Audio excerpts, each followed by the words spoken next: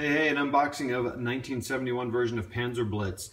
Found it at Half Price Books for $13, so I thought, well, you know what, why not? Because I want to give these uh, Tactical Game X rules a shot. And they're 26 pages, an updated version of the rules. But that's not what this is about. This is about a Panzer Blitz unboxing, which I noticed hadn't been done. 1971 version, it's cool, all the, the, the theme and the talk and all that, it's pretty awesome. Uh, let's look first at the rules of play, which is an interesting way of presenting it. It's uh, presented in this like half sheet, but it's folded like a map.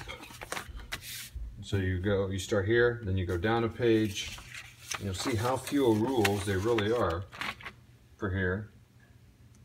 It's here and here, and then this are just all data about the units themselves. To help you identify them pretty simple, pardon the movement of the camera.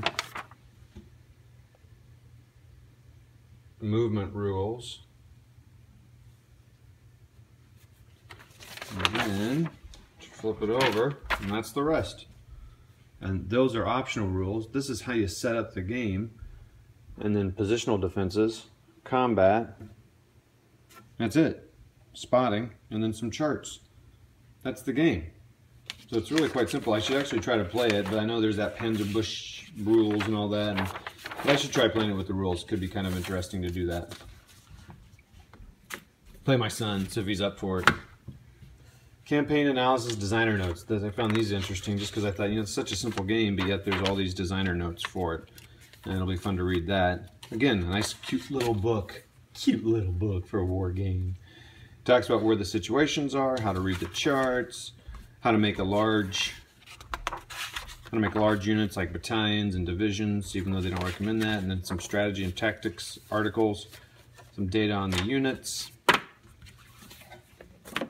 I think this is awesome too. Another little examples of play. Again, you can see the small sheets. They really saved a lot of space. I'm I don't know if I'll may not keep them glued, but situations introduction, examples of play, introductory game, and then the, the, situations. I love how they're all in this one simple sheet, as opposed to whole sheets of paper and lots of graphics. Just do it here and makes it simple. The combat charts on like magazine style paper, real simple. Uh, terrain effects, combat chart, very simple. You roll one die, I believe, which is pretty crazy. What you get I don't know if all the pieces are here. It was used, like I said, about a half price books. You can see the pieces here and what they, they have, the transportation, um, APCs, tanks, artillery, movement, and all that. And then the person that owned it before put it in these envelopes almost ASL style. Some of them, so there's pieces in all these pieces here, and then there's these extra pieces here. I'm not sure. I guess I just got tired of enveloping them years ago. Pink for Russian and white for German. I'll probably change that because they keep falling out of the envelopes. And then of course here's the maps. Map one, two, and three. Pretty, pretty barren. Pretty barren. But kind of the style. It's all right. Imaginative strategists have made some really cool looking ones. May I get some time. All right, so that's that. That's Panzer Blitz. From the other side of the ridge comes the clanking thunder and ominous dust cloud that heralds the arrival of the onrushing wave of deadly steel German armored columns on the attack. That's the kind of flavored text that got people to buy these things like what did they buy 250,000 300,000 copies or something crazy like that? Anyway.